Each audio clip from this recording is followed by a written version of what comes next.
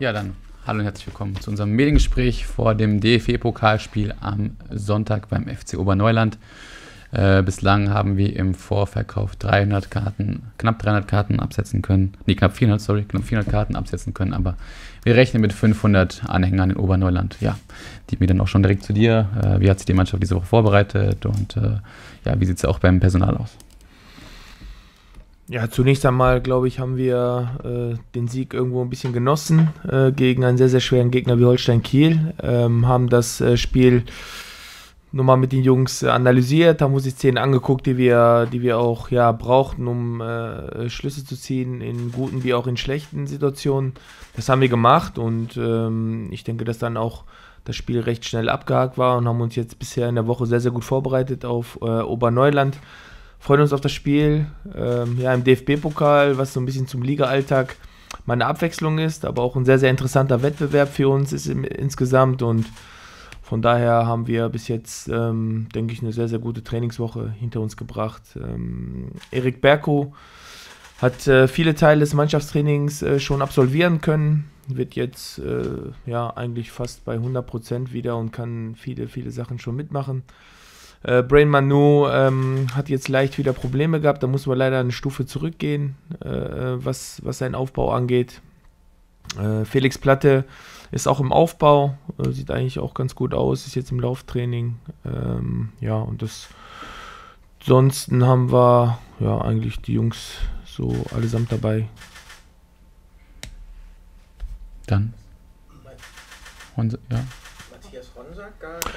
Ja, Honsi warten wir noch ab, also ist die Diagnose noch nicht raus. Äh, da warten wir jetzt gleich noch, äh, was der Doktor sagt und dann werden wir mal schauen, was da ist. Ich denke, es ist was Muskuläres und da werden wir gleich die genaue Diagnose haben. Ist jetzt Also, genau. Danke. Seit wann gibt es hier Mikros? Seit der Saison. äh, bei den anderen, wie, also wie, wie sind so die, die Perspektiven? Also Erich Berko fast 100 Prozent, heißt das, dass er eine Option ist schon für, für Oberneuland? Nein, das glaube ich nicht. Okay. Also äh, das, das käme auch zu früh. Äh, ähm, wir wollen schauen, dass er eventuell, wenn das äh, jetzt noch die Tage gut ist, vielleicht im Freundschaftsspiel am Montag ein paar Minuten spielen könnte, um da auch wieder das Gefühl für das Spiel zu bekommen. Aber er ist auf jeden Fall keine Option für, für das Pokalspiel. Okay, Platte und äh, Manu auch nicht, denke ich mal. Ja. Und ähm, Honsack können sie noch nicht absehen oder eher Weiß unwahrscheinlich? Nicht. Weiß ich nicht. Müssen wir gleich die Diagnose mal abwarten, aber ich denke, dass es nicht in diese Richtung gehen wird, dass er ja, einsetzbar ist. Okay. Gut, ähm, wenn, wenn ich das Mikro gerade habe, dann äh, ich gebe das jetzt nicht mehr her. Nein, ähm, äh, jetzt äh, haben sie ja zwei, zwei Torhüter unter der Woche geholt, aber äh, Flo Striezel bleibt Nummer 1 oder ähm, ist das ein offener äh, Wettbewerb im Moment? Ich denke, dass wir, ähm, ja, dass der Flo auch jetzt im letzten Spiel äh, unter Beweis gestellt hat, dass er auch ein sehr, sehr guter Torhüter ist. Das haben wir, glaube ich, auch äh, von Anfang an betont. Wir sind auch froh, dass wir ihn äh, bei uns haben und ich denke, dass er sich auch seine Chance verdient hat und die hat er, glaube ich, auch ganz gut gemacht und äh, von daher sehen wir da im Moment auch keine Veranlassung, da jetzt noch wieder was zu ändern auf dieser Position. Können Sie vielleicht noch ein oder zwei, ein, ein, oder zwei Sätze zu den äh, beiden anderen Torhütern sagen? Ja, ich denke, ähm, dass wir, dass wir jetzt mit dem, mit dem Igor, den wir, glaube ich, alle noch kennen, äh, jemanden dazu bekommen haben, äh, der denke ich, in der Vergangenheit den Verein auch schon lange kennt. Äh, er hat auch seine, seine Position äh, auch letztes Jahr schon sehr, sehr gut ausgefüllt. Ist jemand, der immer 100% motiviert ist und äh, der immer äh, Bock hat zu trainieren und weiß auch um seine Situation.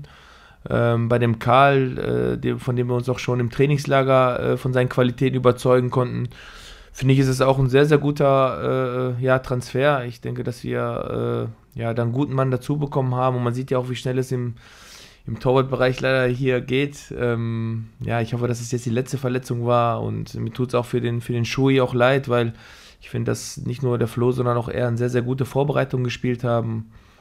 Ist leider jetzt so, wir haben die Situation jetzt versucht so zu lösen und von daher bin ich da absolut zufrieden, dass wir doch so schnell zwei gute Torhüter ähm, ja, für uns gewinnen konnten. Michael.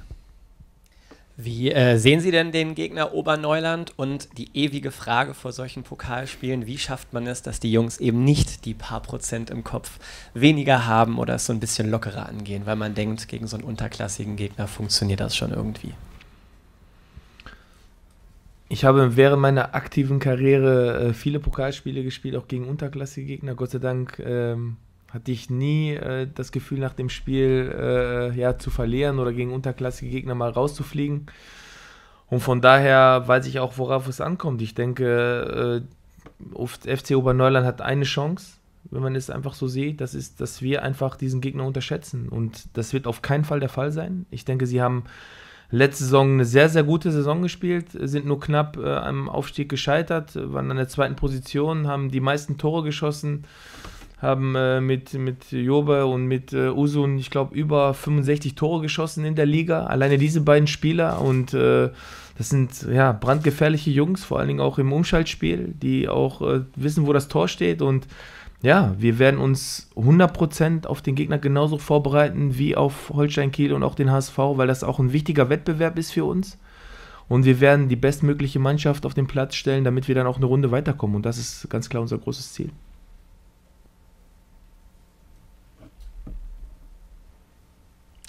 Frank, oder nee? Dann Ingrid. Ähm, Wird es dann etwas offensiver ausgerichtet sein gegen den Gegner? Ja, das ist immer so auf dem Papier. Äh, unterklassiger Gegner kann man auch offensiver spielen. Ich denke, wir, denke ich mal, werden äh, mehr Ballbesitz haben, als es vielleicht in den letzten Spielen der Fall war. Ähm, man weiß aber nicht, mit was für eine Strategie der gegnerische Trainer äh, an die Sache rangeht. Ähm, ja, also wir werden natürlich äh, vor der Herausforderung stehen, auch Torchancen kreieren zu müssen und auch äh, selber das Spiel machen zu müssen. Darauf äh, können wir uns, glaube ich, irgendwo einstellen. Nichtsdestotrotz, glaube ich, müssen wir schauen, dass auch wir ja eine gute Absicherung haben und eine gute Restverteidigung haben, auch im Spiel mit dem Ball, denn äh, sie haben sehr, sehr gute Konterspieler, habe ich ja gerade schon erwähnt, vor allem auch mit Jobe, einen sehr, sehr starken und sehr, sehr schnellen Spieler. Und da müssen wir immer auch äh, ja, ein Auge werfen, wie sind wir als Mannschaft positioniert. Aber es ist natürlich klar, dass wir den Anspruch haben, äh, gegen so einen Gegner auch Torchancen zu kreieren und auch Tore zu erzielen. Und es wird darauf ankommen, wie wir im Spiel drin sind, wie wir auch den Gegner sofort bespielen. Und wir wollen da sofort 100% geben. Aber da bin ich äh, ja, sehr, sehr guter Dinge, dass wir dann auch ja, die Tore erzielen, die wir auch brauchen, um weiterzukommen.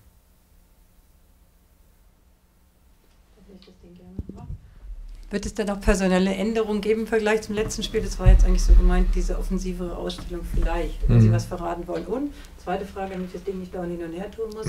Ähm, wer ist denn der Elver-Killer, wenn es nötig ist, von den Torhütern? Ja, also zunächst einmal zu der ersten Frage. Ähm, es ist ja jetzt für uns kein Wettbewerb, um irgendwas auszuprobieren, sondern wir wollen die bestmögliche Mannschaft auf den Platz stellen und äh, werden da versuchen, auch nochmal ein, zwei Sachen auszuprobieren, auch gegen Gegner, äh, der natürlich da versucht, auch so lange wie möglich wahrscheinlich die Null zu halten. Und ja, deshalb werden wir jetzt die Tage nochmal was ausprobieren. Kann ich natürlich nicht verraten, wer wo irgendwo spielen wird. Äh, ich glaube, da werden wir uns am, am Wochenende alle davon überzeugen können.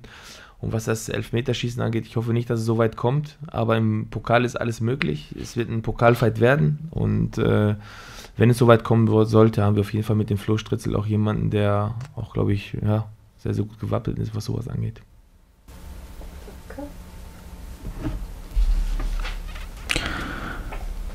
Weitere Fragen gibt es offenbar nicht. Dann danke für euer Kommen und bis Sonntag.